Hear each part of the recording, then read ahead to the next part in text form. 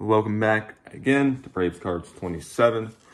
Uh, since I'm pretty much done with graphing this year, um, I guess I'm not going to show my entire, everything I got this year, just because it'd just be too much to show, and I don't want to take all my cards out.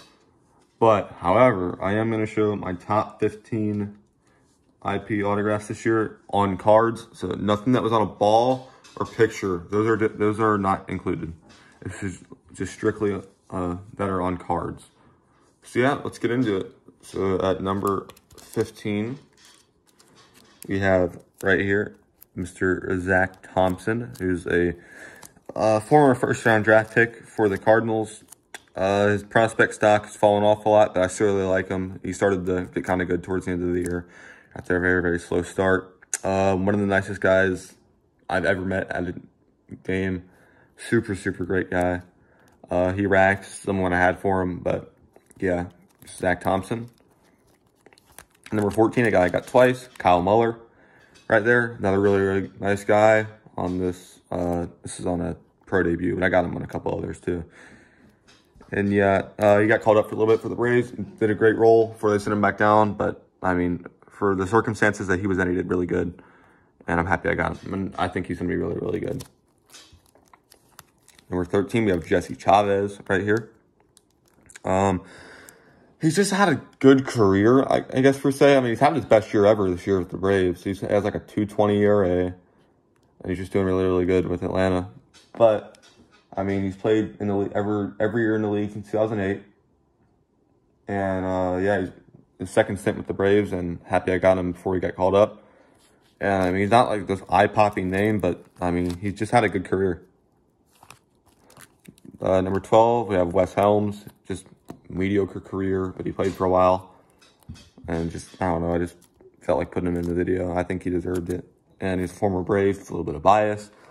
But at number 11, I believe, we have Mychal Givens, who I got in Colorado before he got traded to the Reds.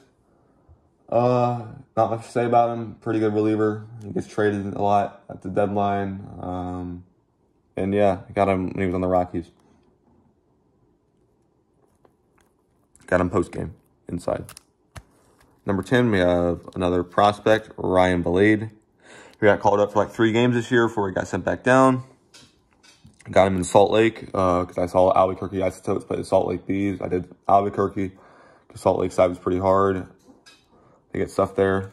But uh, yeah, Ryan Vilade right there. Uh, he's kind of a jerk, but he signed, so I'm not going to complain. And yeah, another prospect whose stock's fallen off a lot. However, he is still a top 100 prospect. That is Drew Waters right there. Only time I got all year. He is very, very, very hard to get. One of the hardest graphs, I'd say, in all minor league baseball. I mean, he's just a jerk. But I did get him once. And yeah, number nine, I believe. Number eight, we have former Brave, Alex Wood, right there. Wish we would have kept him. Uh, thing is, kind of funny story about this. The day after I got him, he tested positive for COVID. So, I mean, like, I didn't really get worried, but, like, I just thought that was kind of interesting. That, like, literally, like, after I got him, he tested positive for COVID. But, yeah, Alex Wood on the 18 card. You can't really see half his signature, but it is on there. It just looks like an A. But I got him when the Giants were in town. Number seven, we have Jason Kipnis, two-time All-Star. He was in Gwinnett all year. I only got him once, but I got him on two. This is, this is one of them. And he's had a really good career. He might hang it up. I don't think he will, but he could be done playing, at least in the majors, for his whole career. And yeah, decent career, though, for Jason Kipnis. Number seven, we have one of my newest, my, my, my last one of the year, but a good one, Dansby Swanson. Uh, all-star potential shortstop. And yeah, former first overall draft pick. And yeah, Dansby Swanson. Number five, I believe, we have Eddie Rosario. Uh, got him when he was on rehab with the Stripers. And yeah, has had a good career. He had a really good year in 2019. He's having a good time with the good year, good stint with the Braves right now. Uh, yeah, Eddie Rosario. Number four, we have number 19 prospect, Shane Baz right there. Uh, through his first two starts, he's done insane already. And he's looking like he's going to be an ace for the Rays for many years to come. So happy I got him. Number three, uh, Evan Longoria. Uh, had a great career. He's not as good as he used to be, but still has had a really, really good career. Uh, probably not going to be a Hall of Famer, but sorry about that. My video cut out. But for Evan Longoria. And yeah, number two, Andrew Miller. Right there, great. One of the best relievers of the decade. Got him, he was on rehab. And yeah, good signer.